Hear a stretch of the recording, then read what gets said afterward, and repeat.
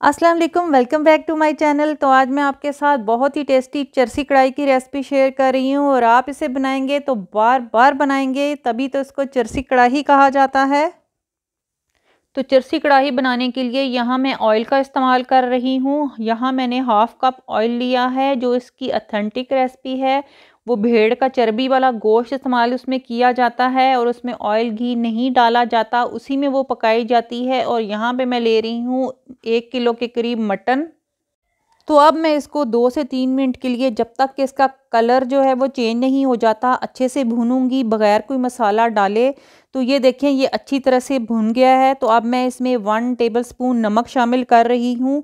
इसको नमक के अंदर ही पकाया जाता है और वन टेबल स्पून मैं इसमें अदरक और लहसन का पेस्ट शामिल कर रही हूँ। ये हमें ज़्यादा मकदार में नहीं डालना इससे ज़्यादा। तो पानी डालने के बाद अब मैं इसको गलने के लिए रख दूँगी तकरीबन 25 से 30 मिनट के लिए। तो कवर करके मैं इसको गलने के लिए रख दूँगी और इस तरीके से मैं इसको हिलाती जाऊँगी ताकि ये नीचे ना लगे।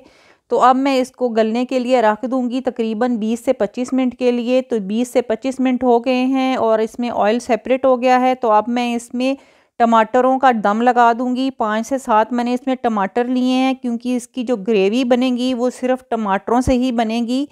तो यहाँ पे मैंने बड़े अच्छे लाल किस्म के टमाटर ले लिए हैं। और अब मैं इनको दम लगा कर रख दूँगी एक से दो मिनट के लिए। जब तक कि टमाटर जो हैं वो सॉफ़्ट नहीं हो जाते तो यहाँ पे टमाटर सॉफ़्ट हो चुके हैं और अब मैं इनकी स्किन रिमूव कर लूँगी, जो कि बहुत ज़्यादा ज़रूरी है। तो ये देखिए, मैंने इनकी स्किन जो है वो रिमूव कर दी है अच्छे तरीके से और साथ ही मैं इनको मैश भी कर दूँगी और अब हमने इसको दो से तीन मिनट तक हाई फ्लेम के ऊपर टमाटरों के साथ भूनना है। जब तक कि इसमें थोड़ी बहुत ग्रेवी नहीं आ जाती और अब मैं इसमें पाँच से छः जो हैं वो हरी मिर्चें शामिल करूँगी। इसमें हमने और कोई मसाला शामिल नहीं करना। तो आप चाहें तो थोड़ा सा स्पाइसी करने के लिए इसमें काली मिर्च का इस्तेमाल कर सकते हैं, लेकिन इसको ज़्यादा मसालों में नहीं पकाया जाता, क्योंकि इस कढ़ाई का जो असली फ्लेवर है वो दब जाता है।